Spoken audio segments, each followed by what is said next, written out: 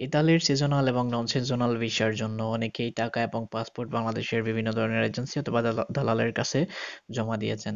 এখন বিভিন্ন সময়ে গেজেট প্রকাশিত হওয়ার কথা থাকলেও প্রকাশিত হচ্ছে না, সেটা বিভিন্ন কারণে হতে পারে। হতে পারে সেটা ইতালির রাজনৈতিক কোনো কারণে অথবা হতে পারে। তাদের কোনো একটা রিসার্চ করার হতে এখনও কিছু বাকি আছে, তাই জন্য তারা এখনও প্রকাশ করতেছে না। কিন্তু এই যে ফ্লোসি আপডেটটা সরকার যেহেতু জানিয়েছে যে বিভিন্ন দেশ থেকে প্রায় বিরাশি হাজার সাতশো পাঁচজন মানুষ নিবে, সেইটা তাদের মিস হবে না কোনো সময়। এটা প্রতি বছরই হয়। ইতালিতে এই আপডেটটা বা এই ধরনের সিজনাল নন সিজনাল বিষয়ে প্রতি বছরই মানুষ নেওয়া হয়। তো আপনারা এটা কনফার্ম থাকেন যে ইতালিতে যেই ঘোষণা দেওয়া হয়েছে, সেটা বাস্তবায়ন হবে ইনশাল্লাহ তো হয়তো প্রথমে নয় তারিখে এটা প্রকাশ হওয়ার কথা ছিল, হয়নি। তারপরে উনিশ তারিখ, তারপরে পঁচিশ তারিখ পর্যন্ত হবে কিনা, সেটা এখনও জানা যাচ্ছে না বাট এটা হবে। তো যারা জমা দিয়েছেন তাদের টেনশনের কোনো কারণ নাই। এই প্রকাশ হবে এবং আপনারা আবেদন করতে পারবেন।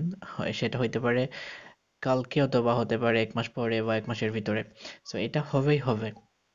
এখানে অন্য কোনো কারণ নাই যে না হওয়ার কোনো কারণ নাই। কারণ সিজনাল এবং নন সিজনাল বিষয়ের জন্য ইতালিতে প্রতি বছর যে পূর্বের মানুষগুলা তাদের বিচার মেয়াদ শেষ হয় অনেকের, আবার অনেকেই বিভিন্ন ধরনের পেশা থেকে অবসর নেন। তো সেই ক্ষেত্রে এই পদগুলা খালি হয় বা এই শূন্যস্থানগুলা আবার মানে পরিপূর্ণ করার জন্য আবারও ভিসা নিয়োগ দেওয়া হয় বা কর্মী নিয়োগ দেওয়া হয় বিভিন্ন দেশ থেকে। তো প্রকাশ হবেই। আপনারা টেনশন করবেন না, প্রকাশ হবেই। তারপরে হচ্ছে এই যে সিজনাল এবং নন সিজনাল বিষয়ের জন্য ফ্লোসির বাইরে আবেদন করা যায় কিনা, অর্থাৎ এই যে বিরাশি হাজার সাতশো পাঁচজন মানুষ নিবে।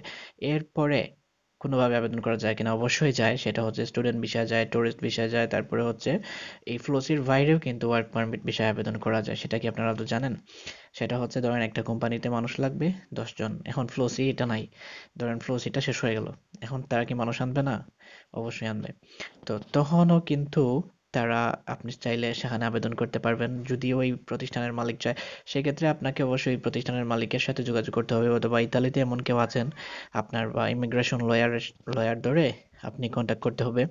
অথবা বাংলাদেশের যে দালালরা যেভাবে নিয়ে থাকে সেটা হচ্ছে ওই এজেন্সিগুলা বা দালালরা ইতালিতে পরিচিত মানুষ থাকে বা ইমিগ্রেশন লয়ার তাদের পরিচিত থাকে। যার কারণে তারা আপনার সাথে কন্ট্যাক্ট করবে এবং সেখানে বিচার ব্যবস্থা করবে। সেই ক্ষেত্রে ফ্লোসির বাইরেও কিন্তু আবেদন করা যায়। সেটাও তো আপনারা একটা জিনিস নিশ্চিত হলেন যে ফ্লোসির বাইরেও কিন্তু ইতালিতে আসা যায় বা ইতালির এই বিষয়ে সিজনাল এবং নন সিজনাল বিষয়ে আবেদন করা যায়।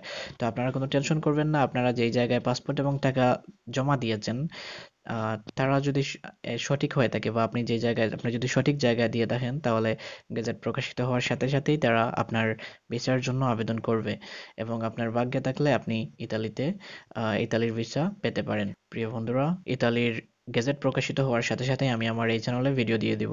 ইতালির ভিসা সংক্রান্ত সকল ধরনের আপডেট সবার আগে পাওয়ার জন্য অবশ্যই আমার এই ভিডিওতে লাইক দিয়ে চ্যানেল সাবস্ক্রাইব করে বেল বাটন অন করে রাখুন, তাহলেই পরবর্তী ভিডিওগুলো সরাসরি আপনার কাছে খুব দ্রুত চলে যাবে। দেখা হচ্ছে পরবর্তী ভিডিওতে সেই পর্যন্ত আল্লাহ হাফিজ।